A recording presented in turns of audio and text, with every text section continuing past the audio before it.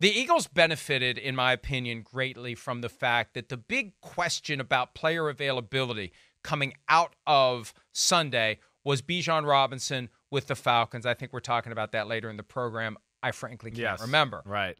But there was an issue with Jalen Hurts, and I noticed it the first time he tried to run the ball during the game. Yeah. What's wrong with Jalen Hurts? He doesn't have his usual burst. He doesn't have his acceleration. We noticed it again later in the half. By the second half, he was wearing a knee brace. Now, no mention of Jalen Hurts having any type of an injury before the game. No announcement that he suffered an injury during the game. And yesterday, on the Eagles injury report for week eight, game against Washington, no mention of Hurts having a knee injury now. And and people say, whoa, if he practiced, well, we see all the time, full participant in practice, and then there's an injury, knee, hip, elbow, whatever. Here is both Nick Sirianni, the head coach of the Eagles, and Jalen Hurts from yesterday talking about the Jalen Hurts knee injury that either is or isn't an injury. According to the Eagles, officially, it isn't. Have a listen.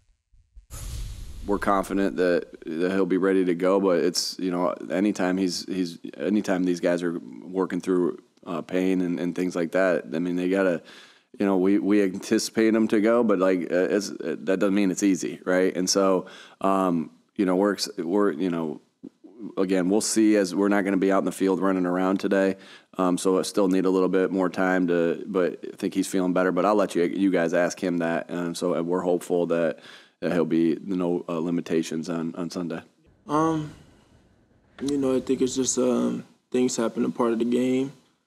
Um, I've already said that it didn't happen in the game, so um, you know, it's just something that we're dealing with day by day, taking it one day at a time. I would have thought Jalen Hurts had a better poker face. look, I went back and watched his post-game press conference after the Sunday night game. Now, we played Sirianni sound on Monday.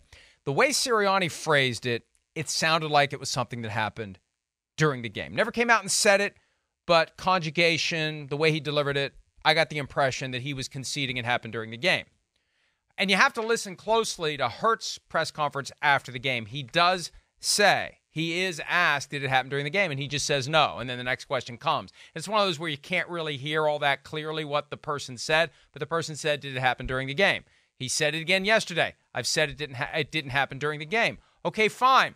So, what's going on here, Chris? You got a guy who's got a knee injury that isn't disclosed Yeah. in any way, shape, or form, Right. who's clearly not himself. Yeah. And this all gets back to, hey, I I put a hundred dollars on the Jalen Hurts over on his rushing number of forty five point five yards or whatever the number was for the game.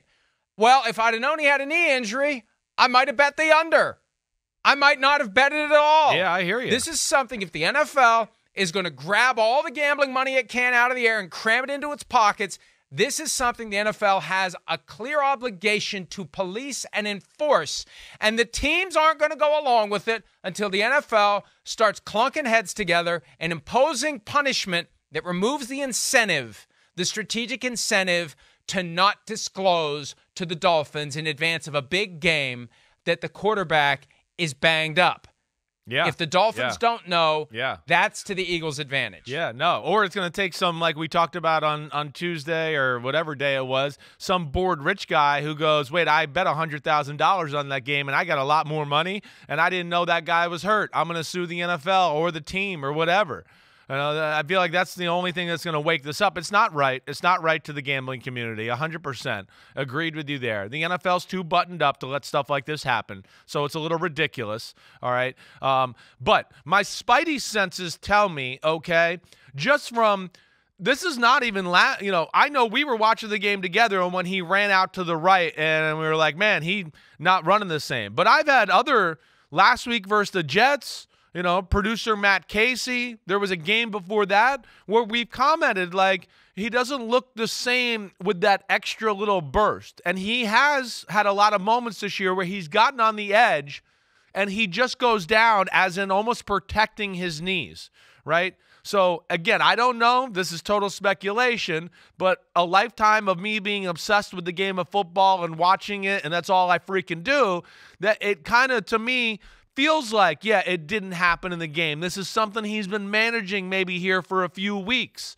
And you know that's that is troubling. You know, yes, the betting public deserves to know. It should be reported the right way. But I also know too, like, you know, I had a coach text me, uh, like uh, I'm going to say maybe it was two or three weeks ago, that some of the ways teams are skirting these little rules and all this is a guy like Jalen Hurts. And I'm not saying I might have done the same thing. I'm not trying to, but so many guys now have their own people they go see. They go see their own Yep. trainer, their Yep. own rehab. They don't get rehab at the stadium.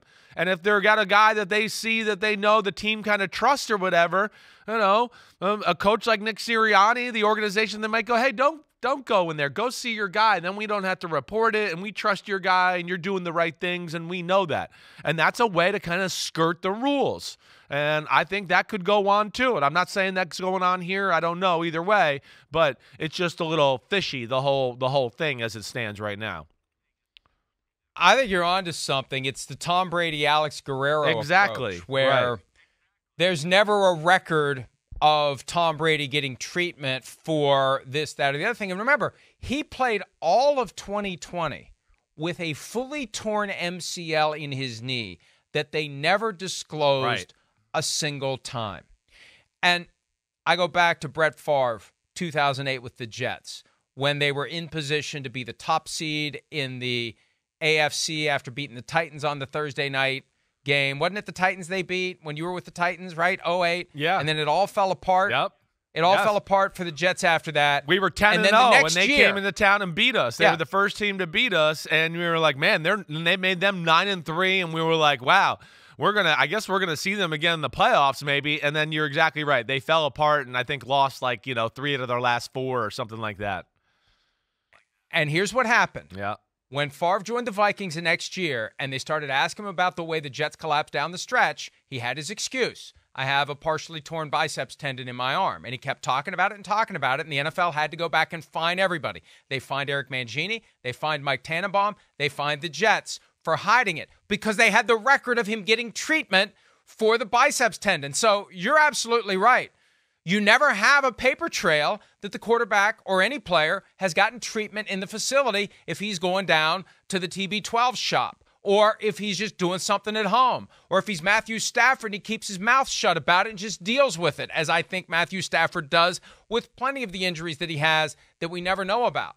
So maybe that is a way that they're getting around it. But you know, Chris, if if your assessment's right that this is something he's been managing for a while, I just went back through all their injury reports this year. He's never named once Right, I on know. any of them. Yeah. Not a single time. Yeah. Yeah, I, I know, Mike, and and I think those are ways you know teams can can skirt the rules a little bit. And I just want to make it sure I'm I'm not I'm certainly not blaming you know the Eagles or Jalen Hurts. I'd probably do some of the same things if I was him. I I, I don't. They're going to let you do it. Yeah, if you They're can get away it, with it, it. exactly. Smoke them if you got them, right? I mean, that's that's the way it is there. So uh, I, I I totally get that, but at the same time, I also get the gambling community and fairness and what the NFL needs to do, and they can't let that go on. That's not right. It's not right, like you have always said, for the NFL to go, hey, here, give us billions, you know, gambling companies, and then you do wrong by the customers who are trying to you know, trying to fight an uphill battle and winning against the gambling companies as it is, anyways, let alone now they're missing huge pieces of information that be, should be supplied by the NFL. That that that's not right. This is not an anti-Eagles take. Not this at is all. NFL. If you are going to grab every last dollar you can from FanDuel and DraftKings and BetMGM and this one and that one and that one and that one and that one, you better get your house in order. You better make sure that teams are providing fair information to the people out there who are legally wagering their hard-earned money, assuming there's transparency, accuracy, truth, and honesty in the information that they have. And there currently isn't because the NFL isn't demanding it from the teams. Again, we'll have more on that later with the latest on Bijan Robinson and how the Falcons are dealing with the fact that the NFL's poking around. Hi, it's Mike Florio. Thanks for watching PFT on YouTube. Hit subscribe for the latest news and analysis from Pro Football Talk.